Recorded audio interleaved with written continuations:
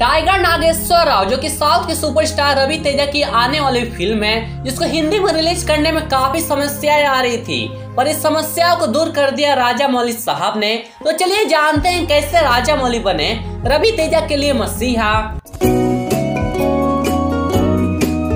देखिए, सबसे पहले आपको बता दूँ राजा मौली और अभी तेजा की दोस्ती के बारे में। अपने अक्षय कुमार की फ़िल्म राउडी राठौर देखी होगी, जो कि असल में रिमेक थी रवि तेजा की फ़िल्म विक्रम मुडो की, जिसे direct S S Rajamouli ने किया था, जो कि हिट रही और फिर बाद में इसे टीवी पर हिंदी में डब करके प्रतिघाट के नाम से रिलीज़ किया गया था। अगर आप इस फ़िल्म को देख लेंगे तो आप अक्षय कुमार की परफॉर्मेंस को ही भूल जाओगे। अब देखिए रवि तेजा की फ़िल्म टाइगर नागेश्वर राव आ रही है, जिसका मोशन पोस्टर रिसेंटली रिलीज़ किया गया था, जिसे डायरेक्ट वामसी कर रहे जो कि एक वाइफिक है टाइगर नागेश्वर राव की, जो पैसे से तो एक चोर थे, लेकिन लोग उन्हें बहुत इज़्ज़त करते थे, क्योंकि वो जितने भी चोरी करके सामान इकट्ठा करते थे, वो सब गरीबों में बांट देते थे, इसलिए वो दुनिया की नज़र में भले ही एक सातिर चोर हो, मगर वो अपने लोगों के लिए भगवान थे, लेकिन अफसोस इनका इनकाउंटर हो गया था।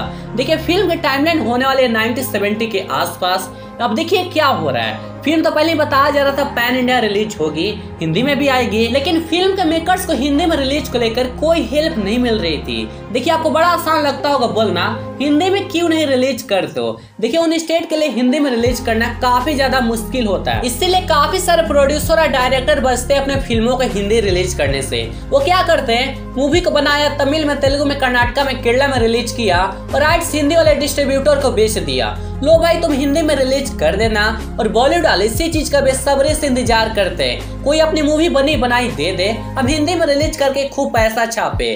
और यही चीज़ हो रहा है रवि तेजा के साथ। इनके फ़िल्म के राय के पीछे जॉन अब्राहम प्रोडक्शन वाले पीछे पड़े थे।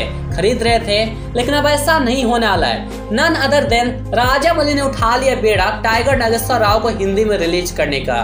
देखिए, इस वक्त राजा मली ऐसे पोजीशन पे हैं, जहाँ भाई उनके नाम से ही काम बन जाते हैं। पूरी इंडियन फ़िल्म इंडस्ट्री उनकी इज़्ज़त करती है, चाहे बॉलीवुड हो या साउथ और अब ये कोलाबरेट करने वाले हैं रवि तेजा के साथ। देखिए, अच्छी फ़िल्में बनती हैं रिलीज़ भी होती है और चली भी जाती है। उसको सबसे बड़ा एग्ज़ाम्पल है कमल हसन की विक्रम फ़िल्म एकदम ज़बरदस्त फ़िल्म थी। मगर नॉर्थ में उतना मार्केटिंग नहीं हुई कोई विक्रम का कोई हवा नहीं हुआ इंटरनेट पर।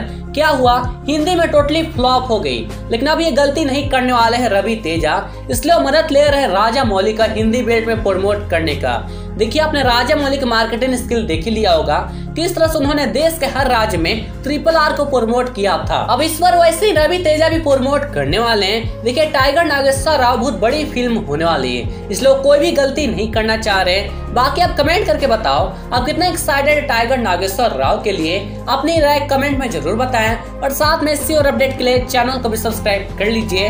तब तक आप सभी को अलविदा।